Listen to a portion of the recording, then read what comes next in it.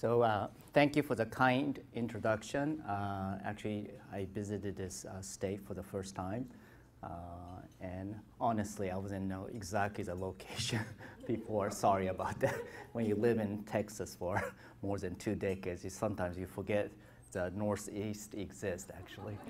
That's a joke, actually.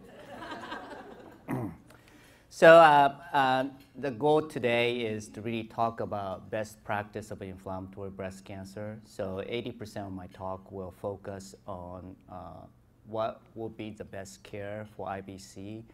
And then towards the end, I'll talk about a little bit about research and where things are heading. Okay. So there are certain facts that I need for you to understand uh, IBC is one of the most aggressive form of breast cancer. Uh, it represents probably about 2 to 4% of breast cancer in the United States. Unfortunately, because of the aggressiveness, if you look from the mortality perspective, the US breast cancer mortality, it may represent close to 10%. So when you are seeing a lot of a newly diagnosed breast cancer, you may not feel like this is a really a health, social health issue. But when you come to clinic with a lot of advanced disease, you'll suddenly notice that there are many patients who has history of inflammatory breast cancer.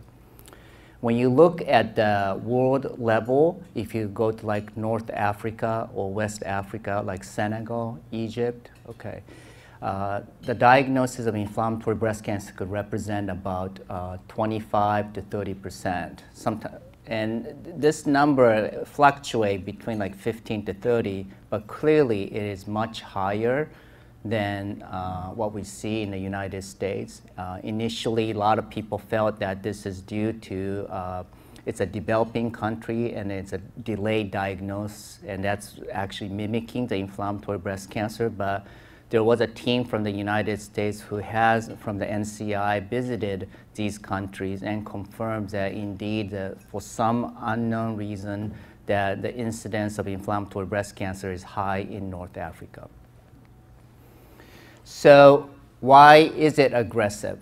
Uh, and there are a couple things uh, we need to talk about. One is by the time the patient presents with inflammatory breast cancer, and I'll talk about the features of IBC later on, but like, like, like the redness of the breast or the breast engorgement, one third of patient will already have metastatic disease if you conduct like CT scan or PET CT scan. There are, there's tendency to not to respond to standard like chemotherapy and even despite of good response, they have still a tendency to disease to come back or metastasize. So you could see here that these are uh, different colors with different curves from the 70s, 80s, 90s, and 2000s. And these are survival curve. And you could see that the curve is pretty much overlapping. Um, and this, this is MD Anderson data, and we have really made a lot of effort of trying to improve the treatment, but the actual survival data hasn't really improved that much. So the question is what to do about this. So we have some challenges. So the challenge is, is uh, why inflammatory breast cancer is difficult. Well, it's, it's a clinical diagnosis. Uh, many disease actually has clinical diagnosis, but over the past two decades, what we call what we call molecular diagnosis. So there's some kind of genetic testing or certain characteristic that you could actually confirm by microscope and confirm the diagnosis. But IBC is more of what you see decides what you have. And that sounds kind of okay, but when you actually do research, it, it makes it difficult because the definition is very, not very clear. And then this IBC is uh, very heterogeneous. So even this IBC will have estrogen receptor positive IBC, you will have triple negative IBC, you have HER2 IBC. So that adds more complications. And what makes it more difficult is laboratory uh, research. Uh, so in the past, we didn't have enough cell line, even animal model to conduct the, the research. And so if you don't have a lot of uh, research samples uh, or research models, it makes it difficult. So why is it difficult to get research sample? Well, the breast is engorged, but it's not a mass. So the disease is scattered over. So it's not like regular breast cancer. You stick a needle and you get a chunk of tissue. And sometimes you do, but probably there's more than 50% of the time you will not have uh, sufficient amount of the tumors. So if you don't have a lot of research, you end up having not a lot of clinical trials. And particularly, maybe like 10 years ago, uh, there was really not a lot of uh, trials. Currently, like Duke, uh, Dana-Farber, uh, or MD Anderson, or uh, Northwestern, uh, there are some university that's very focused on inflammatory breast cancer, so there are more clinical trials, but still it's very limited. I mean, if you think like West Coast, I don't even know who I should really refer you for the IBC specialist. So let's talk about standard care of IBC and what we need to do. And I'm going to go in more details, but I want to like for you to understand the flow of the, the care. So one thing is that the moment the patient comes, we would like to get mammogram, ultrasound, MRI mammography. We would like to get consult with surgery, radiation, medical oncology, EKG, echo, PET CT or CT scan, bone scan. So pretty much we will schedule all above testing and console probably within the first one week. We will make that effort. And particularly the key is to make sure the surgeon, the radiation oncologist will see the patient before the medical oncologist start some kind of chemotherapy.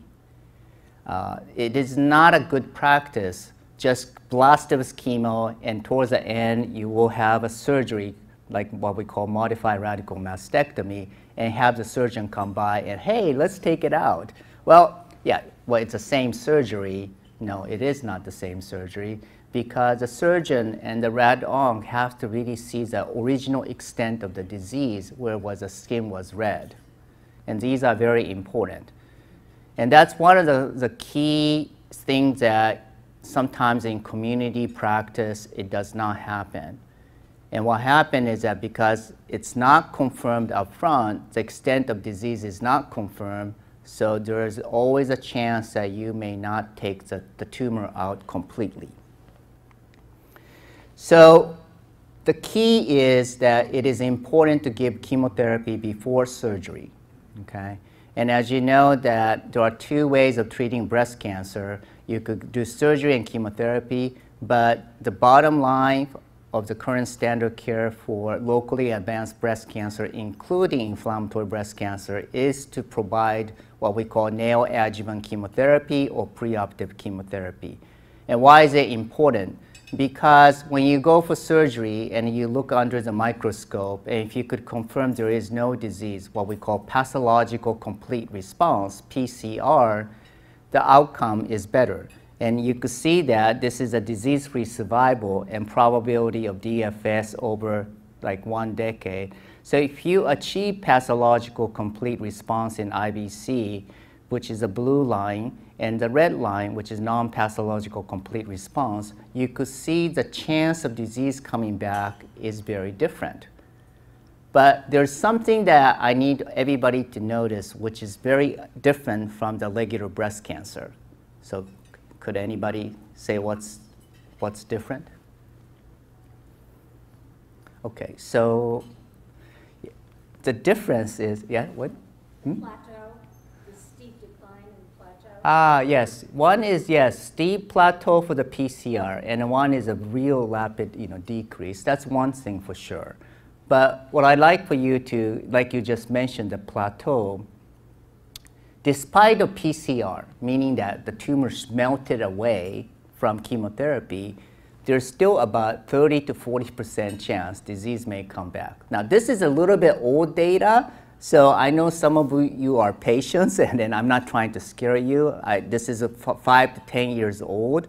So the currently probably the curve is a little bit more upswing with a current conventional chemo, but still comparing to non-inflammatory breast cancer, even with a great response, that disease could still come back. That means that there's a different mechanism that drives the cancer to become aggressive. aggressive. All right, so then the next uh, characteristic is that this is a little bit busy slide, but it has black as a triple negative, which is a ER negative and PR negative, HER2 negative, and then the blue is hormone receptor negative, HER2 positive. The red is a hormone receptor positive, HER2 negative. negative, and the green is hormone receptor positive, HER2 positive. So different molecular subtype, typical thing you see in breast cancer. So the left is what we call the disease-free survival, and the other one is overall survival. So this is what we see with inflammatory breast cancer.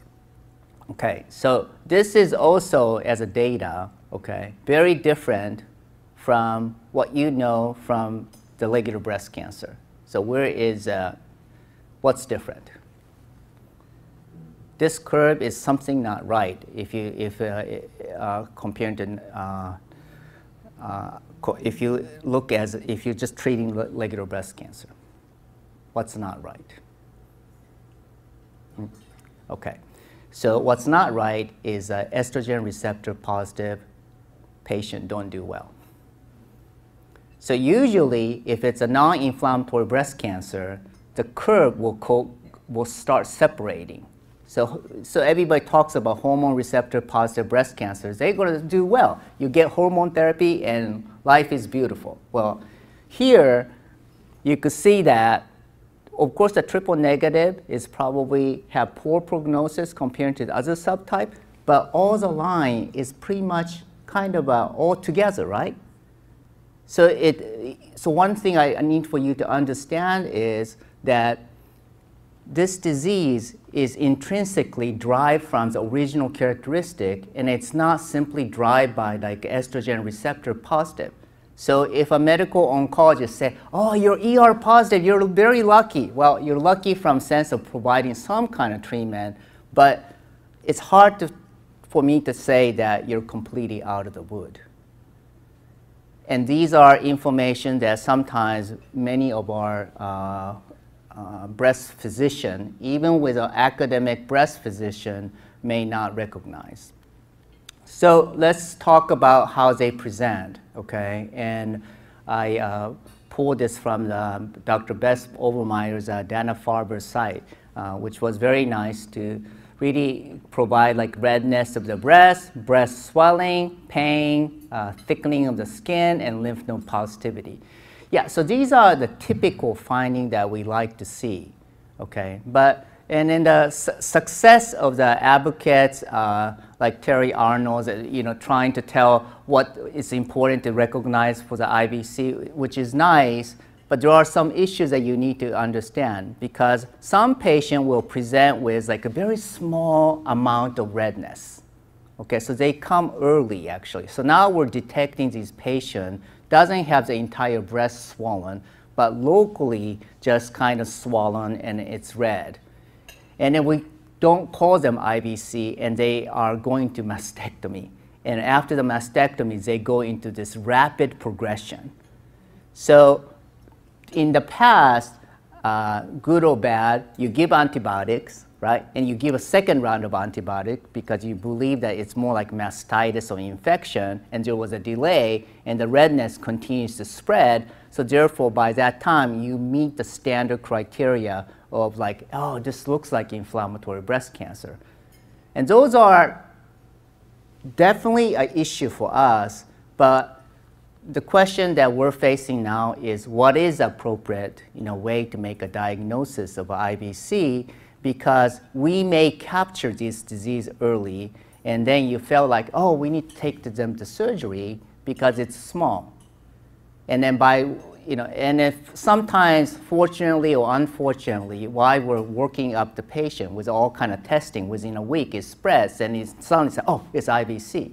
But sometimes that opportunity may not exist. And those are the dilemma that we're facing. So I'm showing you a very, uh, I'm sorry, people, if you get nauseated, but, uh, but uh, uh this is a very extreme presentation. So this is really, you know, swollen, the color is changed. Yes, I mean, do you, we don't see this type of IBC very recently because of the awareness, okay? Rather, it's going to be more toward like swollen, and you could see that there's a skin edema. You could see these follicles, and then uh, that you could see, and there's a color change between the area. So those are probably mm, still the second common one.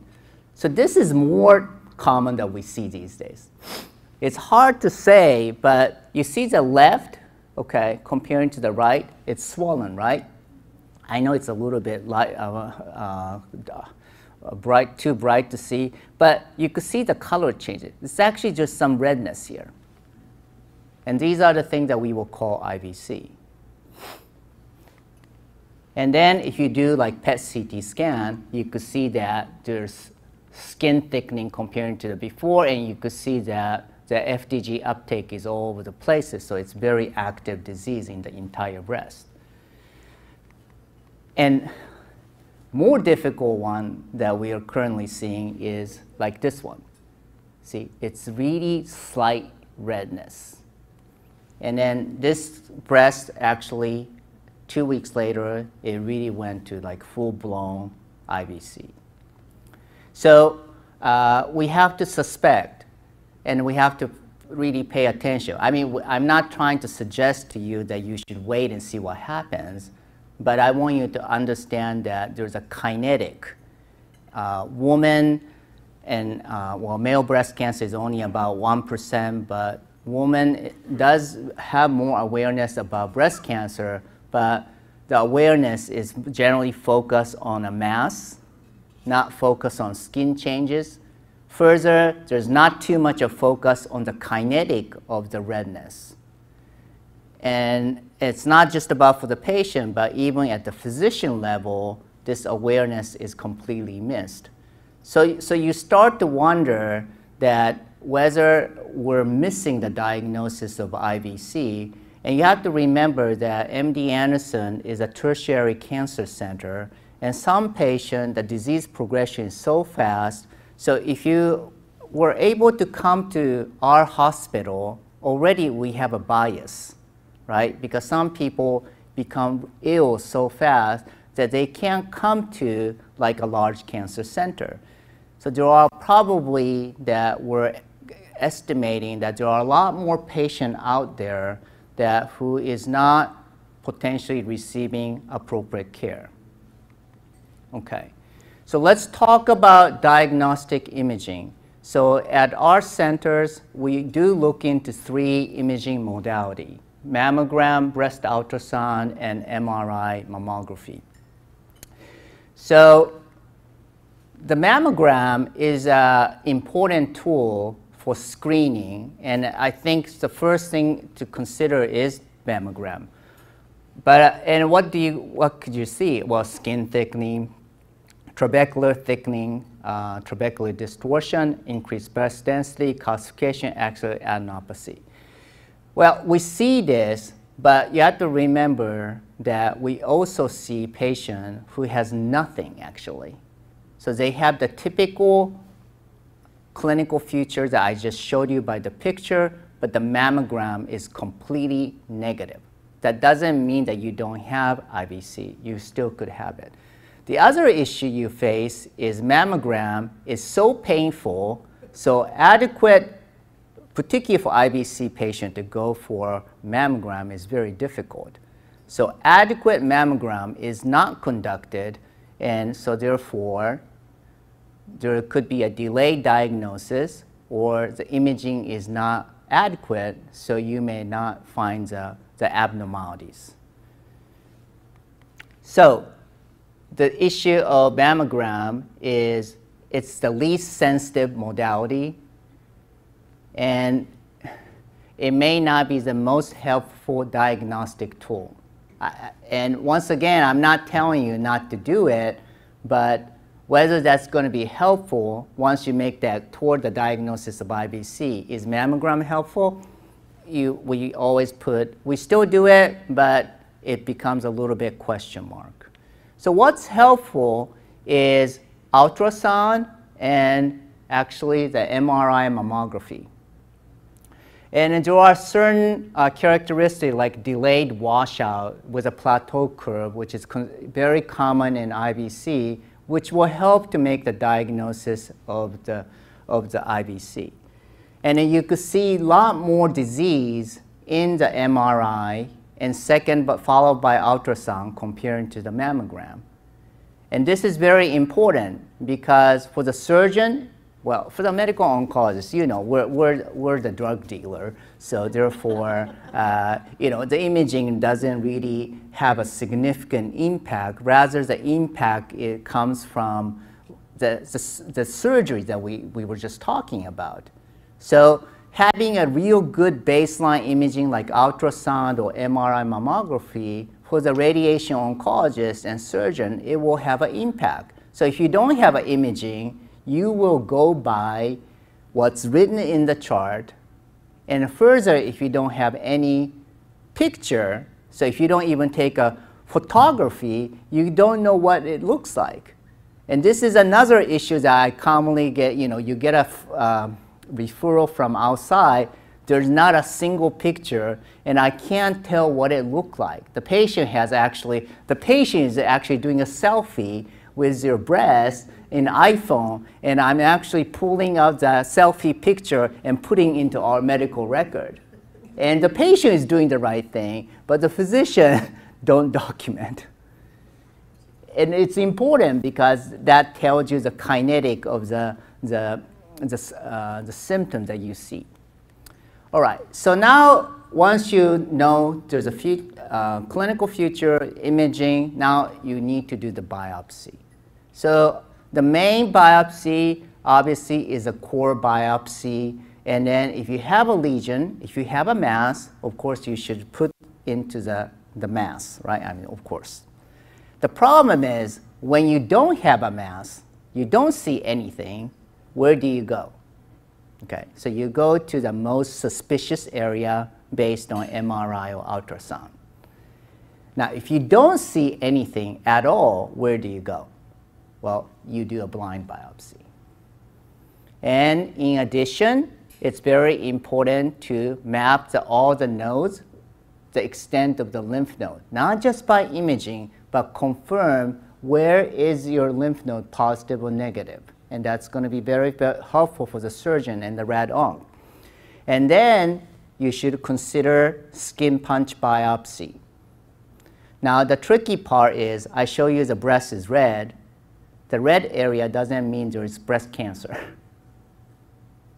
Uh, we do suspect there's a breast cancer, but surprisingly, the red area does not mean that they always have the disease. Actually, the normal area, the normal looking area may have a biopsy. So sometimes we have women that who has these typical symptoms and then we done all the imaging and but the biopsy first time is negative. So what do you do? You bring the patient back two, three weeks later, and you do the biopsy again.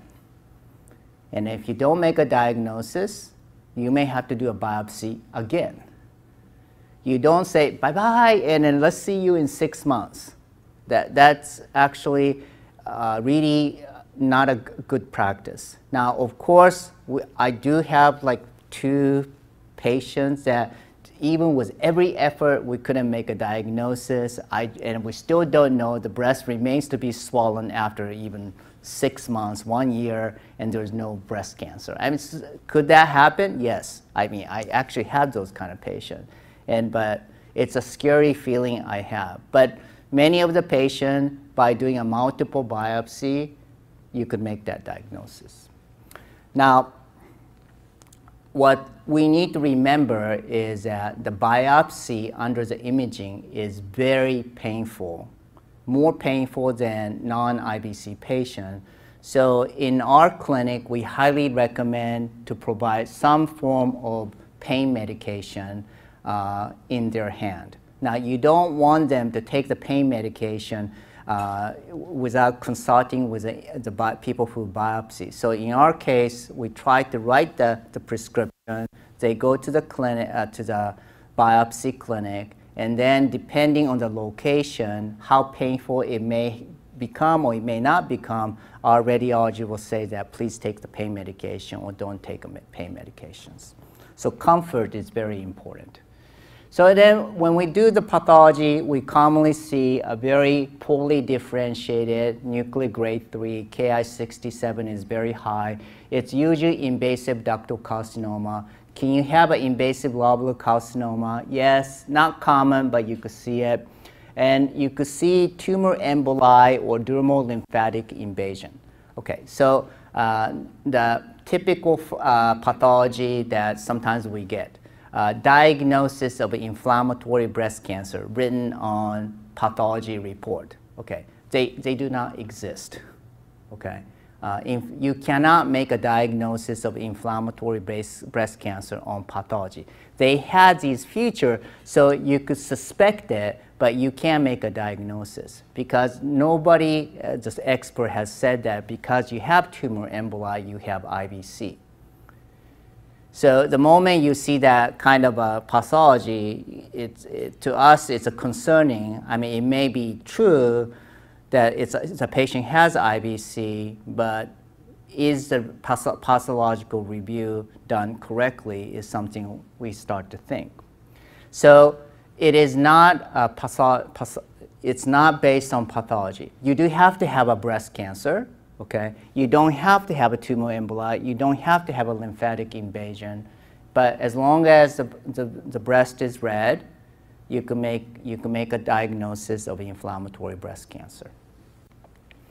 So let's look at the molecular subtypes and then the molecular subtype for IBC and non-inflammatory breast cancer. So the non-inflammatory breast cancer that we all know roughly about 65 to 70% of the patient will have what we call estrogen receptor positive disease, and triple negative is, 15%, and there's what we call HER2 positive disease in this area. But you could see in the, uh, this pie chart on the IBC on the left side, rough 36% of the patient uh, will have estrogen receptors. So it means that one, the prognosis is not uh, no difference among, among these molecular subtype, but the chance of having ER positivity is less. There is more triple negative uh, inflammatory breast cancer, and there may be a little bit more HER2 positive disease.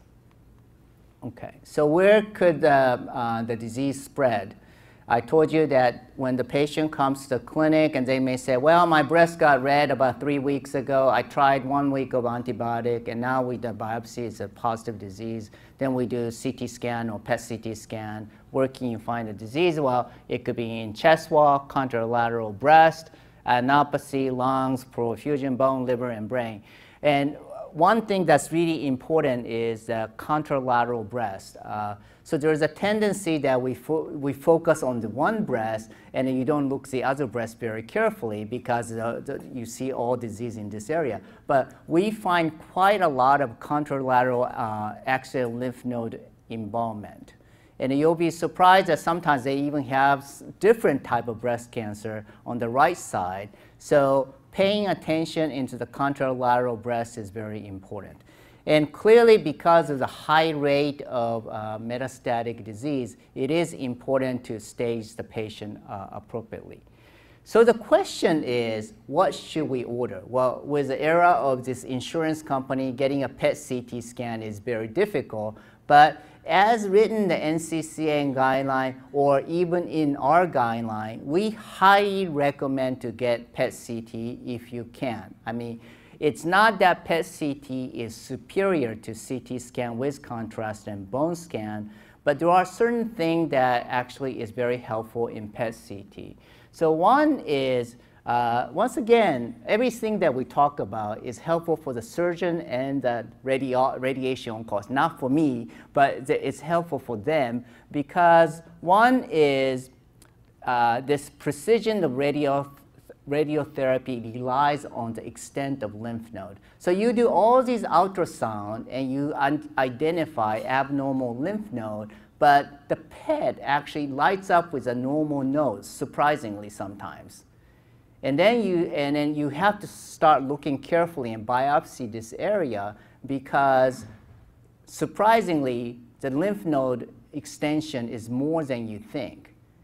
So the regular CT or uh, the ultrasound I just talked about may not capture it. So you have a chance that you, you, you could be missing locally uh, because you didn't do the, the right testing. Now, we don't have a prospective data to prove that this is better. So I don't want to, I don't, I can't claim that PET CT have to be absolute standard, but what we did among us in our group is that we agreed that we would try to get PET CT scan as much as possible.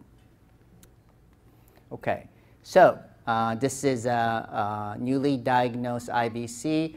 Uh, it's a PET CT scan uh, PET scan and PET CT, and you could see that the breast is like, you know, it's a, there's a black ball. I did not put a ball there, just there. It, it's the breast cancer sitting there, and it's really hyper, right? So it's a very active disease. Sugar uptake is high.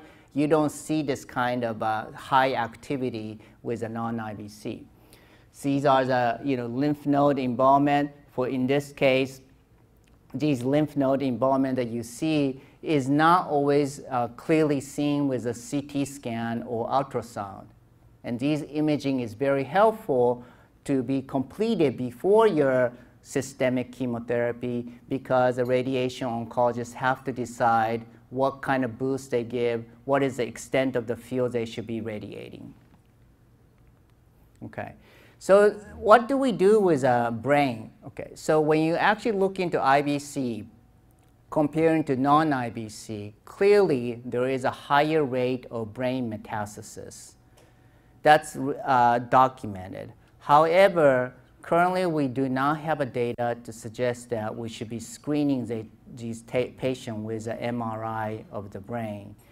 But if they have headache or any kind of uh, neurological symptoms, even if it's mild, uh, we highly recommend to obtaining an MRI of the brain so that uh, we do not miss any uh, brain metastasis.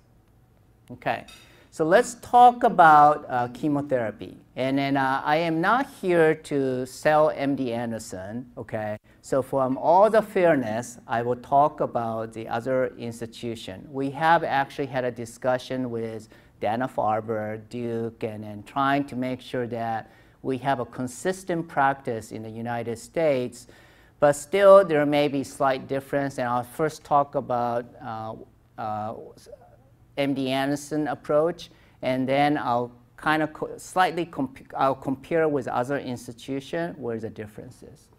So for so the first thing is that we should give chemotherapy, but one of the things that's most important, like in triple negative breast cancer, is to provide Taxol or uh, AC. You could give dose dense or you could give weekly. We don't really care. We don't care which sequence you start, but it is important that both taxane and anthracycline is provided before surgery. And I'm going to emphasize this very much. You do not give TC chemotherapy, okay, not taxotere and cyclophosphamide.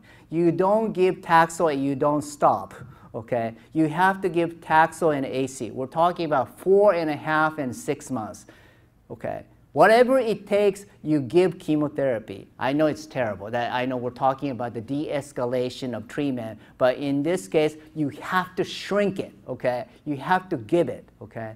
Uh, and particularly in triple negative, you may want to consider adding carboplatin, particularly with like weekly paclitaxel to further enhance the, the response rate because achieving pathological complete response is the only data we have that would show that it would improve the outcome. And I'm going to emphasize this like crazy. You have to give chemo and you have to give it on a timely manner because I'm going to tell you that one third of patients that I end up seeing consult is that the treatment got stopped or they can't deliver the chemo in a timely manner. And, and the patient said, well, doc, you know, I, I don't want to torture the patient, but you have to understand the outcome is highly dependent on the response. Uh, estrogen receptor positive IBC, same thing. Why? ER positive, you give chemo aggressively? Yes, even the same thing. You have to try to shrink the tumor as much as possible. HER2 positive, our first choice is to give THP, uh, Herceptin, and uh, pertuzumab for cycle, followed by AC.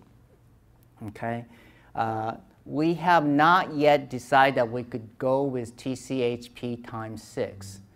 And this is actually that we, it's not that we have evidence, but our backbone of our treatment has based on taxane and anthracycline, and dropping anthracycline has been very difficult to practice. So if you say, well, do we have sufficient of uh, no anthracycline regimen, uh, the answer is we don't. Okay, so this is Anderson and Dana-Farber and Northwestern, okay? Pretty much we're exactly the same, okay? I'm not gonna go through this, but it's exactly the same. Dana-Farber is making an effort to drop the AC in HER2 positive disease. They're trying to give only uh, HER2 targeting drug and taxane. If they get a fantastic response, okay, they should probably go without AC. And that's a great idea. So, uh, and, but that is done under clinical trial. That, that's because I told you that we, do, we don't have evidence. MD Anderson is actually going on the other way around. So now we're giving three anti-HER2 therapy for the HER2 positive disease. I'm not saying that we're right or they're right. We just don't know. One is more intensification, one is more de-escalation. But the middle ground is what I just talked about, okay? So the, the question is that what do we do for adjuvant therapy, okay? Uh, so for triple negative, the CREATE-X data has clearly shown that if you have any residual disease, that it will benefit from gemcitabine. Now that data was not based on inflammatory breast cancer, but taking additional gemcitabine with any residual disease may have a benefit. So we do talk about this. The other is estrogen receptor positive disease. We highly recommend to suppress the ovary and consider aromatase inhibitor with a SOFT-TEXT regimen, and that's our first choice. And for HER2 positive, all patients, regardless of the response, we recommend pertuzumab and trastuzumab because they are considered as a high-risk uh, treatment. So I know some of you are not in this field, but what I'd like for you to understand is that our stance of our group is that we provide uh, the treatment based on certain evidence, but not definitive evidence, but we, because of the relapse rate is so high, we tr try to provide the entire treatment and we try not to de-intensify the, the treatment unless we have a clear evidence. Okay. And then pretty much that when we talk with MD Anderson, Dana-Farber, Northwestern, Duke, we're all the same. So your choice of looking for expertise, yes, if all of you could come to MD Anderson, I'm very happy. I know we're taking video. Uh, that's not the reason. but I think it's really good to go to like Dana-Farber or uh, Duke or, you know, Northwestern or us, you know, uh, any places probably they have same principle. We may say slightly different thing, but the principle is very similar, okay? So let's talk about surgery, okay? So the bottom line is modified radical mastectomy with axillary lymph node dissection, okay? Uh, currently, there are no other choice outside of uh, st standard care. So here's a couple things I would like to talk about. No skin sparing no breast conservative surgery. Currently, in the United States, there are no data that this is a good practice. Um, is it possible? Maybe. The UK has suggested it, but we are not practicing it. Okay. We do not recommend immediate reconstruction because a high rate of relapse in the first one to two years, uh, maybe one year. So at least we rec recommend waiting one year. Okay, get the surgery done, move on to radiation, and wait. Now the other thing that's important is no immediate prophylactic contralateral mastectomy. Many women will come to us and say, please remove the both breast. Okay, not to me, but my, my surgeon. Okay, and uh, and so why? Okay, well, it's because if you remove both breasts, the complication rate comparing to unilateral mastectomy is much high. If you have a complication, you will delay the radiation and you will delay other form of necessary adjuvant therapy. And that is detrimental to the outcome.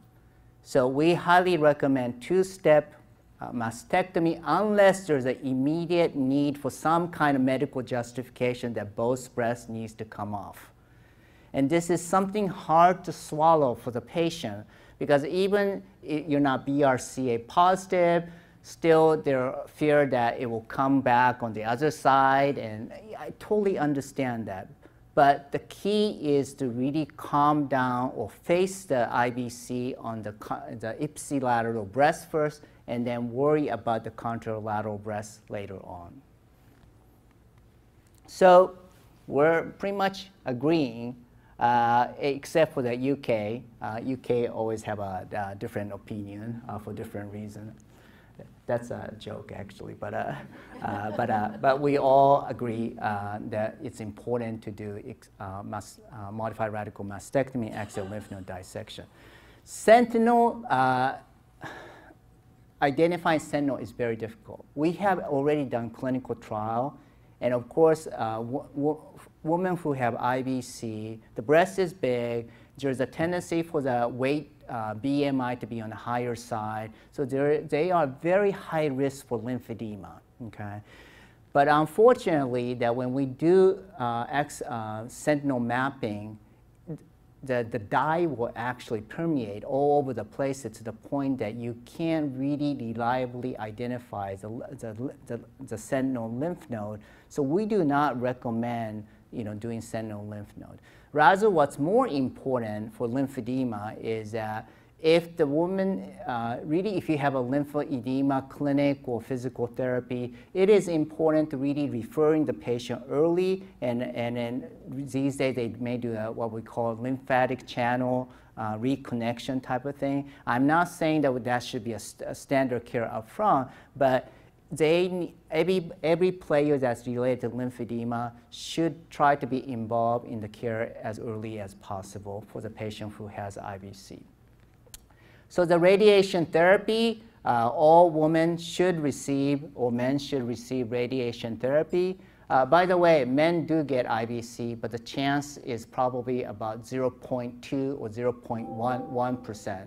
So it's uh, usually in a non-IBC, it's about 1%, so it's very uncommon.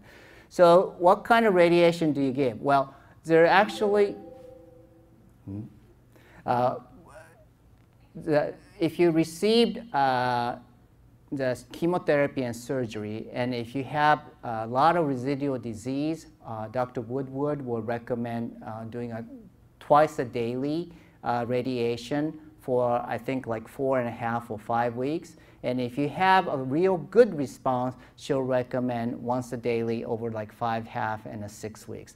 But I'm not a radiation oncologist, but my understanding is that I, I keep reminding everybody, but like PET CT and ultrasound, and then seeing the patient up front, she will remember the whole area and she will customize so that she really will boost the area that's concerned for recurrence. Okay, so uh, this is a controversial topic. People who have de novo stage 4 inflammatory breast cancer. So currently, using our standard, uh, guide, uh, standard staging, inflammatory breast cancer does not in exist in stage four. Okay, It's like, what? It's like, uh, it's true. AJCC only defined inflammatory breast cancer existing in stage three. But we all know that patient will present with IBC and they could have metastatic disease. And once you have metastatic disease, they will bundle all together and call it stage four. And so the word stage four inflammatory breast cancer is something that our group and many of the IBC specialists recognize, but there are some breast physicians that will not recognize the existence. So why is this important? How do you treat women who have metastatic disease and they have IBC in the breast?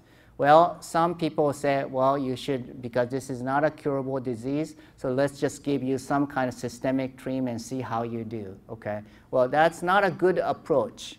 We highly recommend that first thing is whether you could apply like a stage three inflammatory breast cancer approach, meaning that you give systemic chemotherapy, try to shrink the tumor as much as possible, and then to consider potentially surgery. Okay, so that's really like a, why is he talking like this? Because in non-inflammatory breast cancer, there has been already randomized clinical trial to show that surgery does not improve survival. Well, there's a reason behind this. This is not simply about uh, improving the outcome uh, and how long you live. If the breast does not get control in IBC, it becomes a major quality of life issue and wound care issue, smell and suffering of the patient. Uh, if you ever taken care of patients who have extensive entire chest wall involvement, it is a total disaster and really bad situation for the patient. So to prevent this, okay, it is important to think about doing a palliative surgery. Uh, it may not be curative intent, but doing surgery in this condition to do a good local control is important. You don't want to take women who's not responding to go for surgery, but if they're responding well, it's important to do the surgery. But if you're going to do the surgery, you need to make sure that you have mapped the lymph node and extent of the disease very carefully because with one mistake, okay, the surgeon may miss the area. And this is where the surgeon, rad onc, and med onc have to work very carefully. So if the team does not exist uh, to really work together closely, it is really not just, it is not a good idea just let's just do the surgery because a mistake will, there's a high chance the mistake will happen. It is important to go to a, a clinic that's really has three disciplines that could see the patient almost same time and make that uh, decision together. Okay, so uh, MD Anderson uh, has been dedicated, and we call ourselves as Morgan Welch IBC program because Ms. Uh, Welch, uh, who was diagnosed soon after the wedding, and she was she passed away in, uh, to, uh, at the age of 24. So about 11 years ago, we dedicated uh, uh, the advocates and the state has um, advocated for that we need to create a clinic, and that's really what the start of our clinic. And then, so there is a lot of, you know, international consortium and then a, a fantastic investigator uh, uh, from this area. And then we have a, a currently a, a, registry that we try to collect samples and we try to come up with a consensus of how we treat our patients. So public education is a key and I think this has been somewhat uh, like you know, getting this opportunity to talk is really fantastic, and, and so increasing the awareness has really helped to improve uh, how we treat the IBC. We also have a website that provides video. This video is slightly old and we're trying to update this, but we have a professional education site. If you're interested, please email me and I'm happy to send you the link. And it talks about much more details than what I'm talking about. Uh, but we're trying to really increase awareness of, for better treatment uh, for the IBC. Uh, so uh, we also have social media activity uh, from Facebook to Twitters, and and, uh, and we're doing a, like a Facebook Live on a monthly basis. So it's a small, you know, dent in, in, this community. But uh, one of the things is that this IBC is rare, and the rare disease still matters. And what we, we can make a difference by working together and trying to increase awareness. Okay, so now the last part, okay, and before you go to bed, uh, and I'll, you know, this will be a nice way to go to sleep. Uh, I'll talk about a little bit about research. Okay, so we constantly talked about, you know, um, uh, diff different research uh, ongoing. And one of the challenges that we face, and I'm going to oversimplify some of the effort that's been going on, uh, and one is uh, looking for unique gene signature. Okay, everybody wants to know why is inflammatory breast cancer aggressive. So people compare to IBC versus non-IBC. And the funny part is that everybody come up with their own unique idea, including myself. Okay, I'm, I'm as guilty as anybody else and claim that this is the, the reason that IBC is potentially uh, it's derived from these genes. But the, for example, when you take like three paper and then look the comparison of the, this unique gene, the, the overlap was like zero actually. so, so you could see that it's how difficult it is. So why does this happen, okay? So why? So it happens because part of the issue is that we don't even know how the sample was collected. Remember I told you that the needle may go into the mass, it may not go into the mass. And anything that in the past, the sample was very much unclear where the sample is. The diagnosis is not molecular diagnosis. So it's possible that from the beginning, the diagnosis was not IBC. So these are all confounding factors that makes it difficult to come up with something unique. And then if IBC is not driven by breast cancer itself, then we have to think about what's happening surrounding of the breast cancer, and that's called cancer microenvironment. So one of the examples is like oh, you know measuring these cytokines in the blood and then comparing to a patient who has IBC and non-IBC. And, some, and what we see is that certain unique cytokine is more elevated. So you start to wonder, is the reason for inflammatory breast cancer being aggressive is not just simply because what's going on inside of the cancer, but surrounding cancer, uh, surrounding condition, cancer microenvironment is driving the, the aggressiveness of the disease. So yes, there are unique gene pathway that determines the prognosis. We can redefine the gene mutation driver. Huge targets has been clinically proven.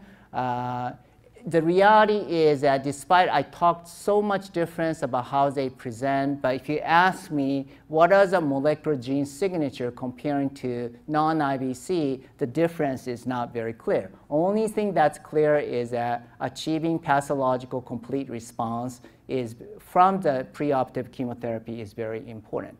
So this is your homework today to memorize all the targets that exist and then uh, so you could see that there are uh, like what we call stem stemness, cancer stem cell invasion, and EMT-like. There's from PDGF, from EGF, uh, CD44, and then, uh, I'm sorry, uh, from uh, a JAK-STAT pathway. So there are many targets that's currently uh, ongoing with the study. But one thing I could tell you that two drugs has not been proven to be uh, effective.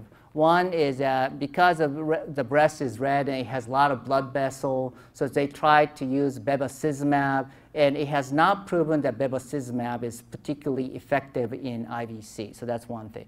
One, 10 years ago, there was people felt that lapatinib was a unique drug, and they, this may be unique to IBC, but that also didn't uh, work out. So currently, the two major effort is one from Dana-Farber, uh, which uh, targets the, the the, uh, the STAT pathway, uh, and MD Anderson is uh, targeting the EGFR and with a panitumumab, which is a humanized anti-EGFR antibody. And this is all clinical trials. I'm not, this is nothing standard care, but we think that these are the potential uh, two promising targets that we need to prove that this could become a standard care over this another five to 10 years. So my uh, uh, interest is in this EGFR, which is really like a brother and sister of the uh, HER2. And EGFR as a therapeutic target, EGFR is associated as a poor pro prognosis.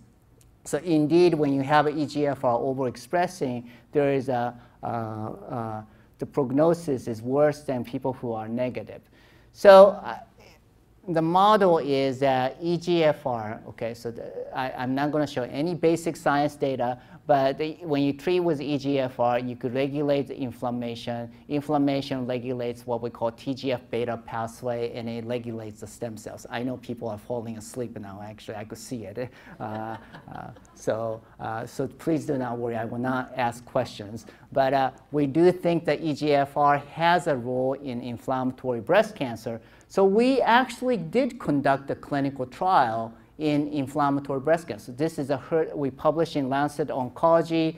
Uh, I'm sorry, it's in press, but it's actually we did publish in Lancet Oncology this year that this is a neoadjuvant panitumumab plus uh, low HER2 uh, IBC, meaning that it could be triple negative or estrogen receptor positive. after their diagnosis, they will receive panitumumab, then they will receive nab-paclitaxel carboplatin, and they received FEC uh, every three weeks times four, and they went for surgery, and we measure uh, what we call the, the pathological complete response. So what we found in this population, so this is basically investigational treatment with uh, inflammatory breast cancer, and what we found is that the PCR rate uh, on the triple negative breast cancer was 47%. So, and, and then if you add what we call RCB1s, like tiny bit of disease left, then the 65% of the patient had a, a what we call close to pathological complete response. And if it's estrogen receptor positive, it was 15 and 15 percent. So why is this very important? Okay, it's like, okay, well, it sounds like reasonable number for non-IBC. Well, so, so our historical data, okay, so non-IBC, you, you know, I talked about chemotherapy multiple times. In historical data in TNBC with non-IBC, the PCR is about 30 to 40%. Our historical data achieving that PCR is only 12%. See this, it's only 12% I want you to understand, okay? I told you PCR is very important, but it's only one out of 10 or two out of 10 of my patients achieve PCR. So when we see, this is a single arm study, but when we see like 44%, it's like, wow, it's like, what happened to our regimen? You know, something, you know, uh, it, this could be a fluke or this could be, you know, something uh, that EGFR, targeting EGFR may have activity. And then we looked into these uh, like the target like EGFR and inflammation. And indeed, uh, the activity correlates with suppressing these uh, pathway. And I'm not going to go in detail, but we look for molecular markers. So currently, what we're doing, because we haven't proven that this is really EGFR related, we are doing a randomized clinical trial, and we're uh, actually randomizing between people who have anti-EGFR uh, antibody with panitumumab versus no panitumumab. And then what we want to show is that between the two arms, this arm will have a higher PCR comparing to this one. So this is an ongoing study to prove that panitumumab has some role in uh, uh, inflammatory breast cancer. So we think that uh, Anderson Group, Morgan Welch think that EGFR is an important target, and this is one of our major efforts uh, to understand how is it related to inflammation, cancer stem cell, how does it affect the tumor microenvironment, and so we're making a lot of effort in preclinical study to understand uh, uh, the triple negative IBC. So there are many other things I uh, that we could target based on what we call cancer microenvironment. So this is a review that we published in a Nature Review uh, uh, Nature Cancer Review. And what we're trying to show here is that this is all immune system, okay? And what we're, one is that targeting like immune checkpoint, targeting like macrophage, and there are many different targets and drugs that's coming up at this moment. So, so we're kind of excited about it because, you know, in the old, in the past, we've been focusing on giving chemotherapy and then trying to expand targeted therapy, but we really never have really chance to go into this, uh, what we call immunotherapy, because IBC has a unique uh, well, uh, immune, immunological changes uh, that we could potentially target. So the first thing that we've been looking into is use of what we call statin, uh, cholesterol drug. So why is it important? Because the, one of the reasons that cholesterol drug is effective in non-cancer setting is because it reduces inflammation. Uh, so when you have high cholesterol, it forms a plaque in your endothelial cells and it causes inflammation. So people measure C-reactive protein and they try to figure out how effective these statin could be. And indeed, when you do retrospective chart review and look into whether statin is effective or not, we notice that people who take anti-cholesterol drug does better than people who don't take it. So that's an interesting data. And so therefore, we're currently trying to strategize what we could do for our IBC patients. So, and I'll just, you know, finish very quickly uh, uh, after just talking about strategy. One is in triple negative, we will give panitumumab. For HER2, uh, we will try to provide three anti-HER2 therapy in neoadjuvant setting. Dana-Farber is going towards the other direction. Uh, we are also giving uh, anti, um, I'm sorry, pan-HER kinase inhibitor with paclitaxel. This is before. And if you have any residual disease, for triple negative, we're trying to see if we should be considering uh, statin. The, for estrogen receptor positive disease, we try to give uh, immune checkpoint inhibitor and endocrine therapy. So this is a metastatic inflammatory breast cancer. So metastatic inflammatory breast cancer is dominantly uh, clinical trial is driven by immune uh, uh, pembrolizumab, atezolizumab, pembrolizumab. So these are all immunotherapy-based therapy. One is to give standard chemotherapy, shrink it, and use immunotherapy as a maintenance, or you do like a triple combination to see if we could actually shrink the tumor much better by targeting with immunotherapy and MEK inhibitor and chemotherapy. So these are the th things that we're trying to come up with a better treatment. We are also uh, trying to do what we call T-VEC. T-VEC is, as you know, is used for melanoma. You inject the virus into the tumor and lyse the tumor and try to make it immunogenic. So uh, I'm not saying that this is going to be effective or not, but standard chemotherapy effectiveness is so much limited, uh, we need to do multiple clinical trials. And Dana-Farber has its own unique trial, Duke has its unique trials, and what's really important is to have access to these trials. So uh, one thing, you know, I'm going to end here, but uh, uh, one that's important uh, in IBC research is that it's a very patient-centered driven research. So why is it? Because many of our, you know, we are very fortunate to able to do clinical trial research, not because we, you know, we got grants very easily. The reality was really uh, advocate uh, really uh, helped us to really reach out to the politicians and community and raise money. And that money allowed to create infrastructure. And that infrastructure resulted into uh, getting grants and conducting clinical trials. So it's one of these, you know, Kaizen model that it go, goes back and forth, and that allowed us uh, for our 10-year history to, ma to make it better. And I think it's very similar with Dana-Farber and every places. And most time it's really driven by NIH or NCI, but this is a very different disease, how it developed over the past 10 years. So the conclusion is it's a tough disease. It's a heterogeneous disease. It is, we do need to understand. I mean, the standard care, there's a many things that we still have to address, but the, we do think that the, the, our future is immune system and understanding inflammation. And we believe that both targeting cancer as well as cancer microenvironment is going to make a difference. And uh, we believe strongly that in 10 years later that we will come up with a better treatment. So these are all my uh, fundings and our fundings and multiple patients who has been really helping us to take us to the next levels. And uh, these are my acknowledgement. So uh, please feel free to email me, uh, and I'm on Twitter called Team Oncology. Um, if you want to become friend with me in Facebook, please uh, friend me. But uh, but please uh, say that you send me a message that you did attend because uh, you, I cannot tell the who's friending me, and, and I just don't like casually accept everybody as a friend actually. So, but I am willing to become a friend if you send me a message that you said I did attend that, you know, and if you tell me that this was a good talk, then I'll further, you know, button. Thank you very much.